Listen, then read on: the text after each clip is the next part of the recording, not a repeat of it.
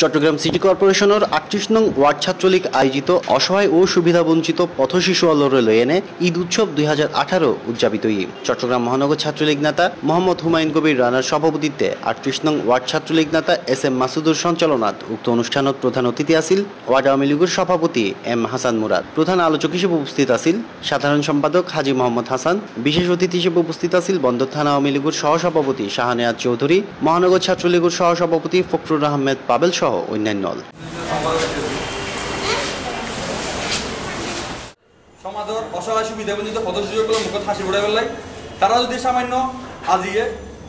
আসে তাহলে মনে করবেন যে আর এই মন গান বহুত বড় শান্তি পাইয়ে আর আপনার শান্তি পাইয়ে। ডেক্স news C plus TV hello দর্শক ভিডিও ইভেন নিচে সাবস্ক্রাইব লাহা উগা লাল বাটন আছে। ইবেত ক্লিক করুন আর সাবস্ক্রাইব করুন আর ইউটিউব চ্যানেল আরা